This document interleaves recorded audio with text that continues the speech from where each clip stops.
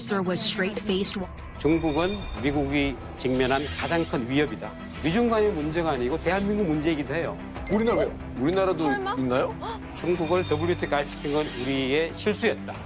갈 때까지 가고 있는 거예요. 이제 뭐 거의 신냉전에 돌입했다고 보는 거죠. 네. 미국하고 중국 사이의 선택이라고 선택지를 딱 놓는 순간 우리는 딜레마에 빠져요. 우리 진짜 힘든 것 같아요. 네, 어렵다. 아무도 말 못한다. 쌤! 누구를 선택해야 됩니까? 선택해.